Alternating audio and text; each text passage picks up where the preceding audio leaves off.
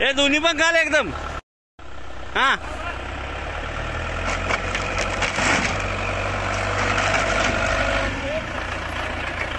Okay.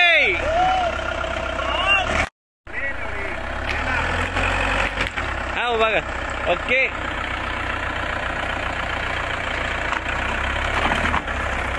ले ले.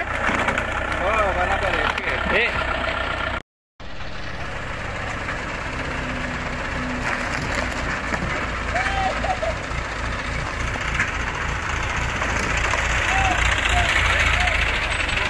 हे हो पीपीसी वाले भैया